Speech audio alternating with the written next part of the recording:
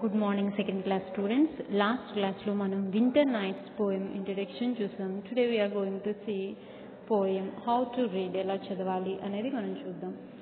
Blow wind blow drift the flying snow here drift means to be carried away by water or wind ఇక్కడ వాటర్ని నెమ్మదిగా carry చేసే వాటిని మనం drifts అంటూ ఉంటాం కదా? Yes drift the flying snow send it twirling twirling overhead twirling means ఇక్కడ turning in a spinning motion spinning మోషన్లో రౌండ్గా మెల్లి తిరుగుతూ ఉంటాయి కదమ్మా. దాన్ని ట్విడ్లింగ్ ట్విడ్లింగ్ అనడం జరుగుతుంది.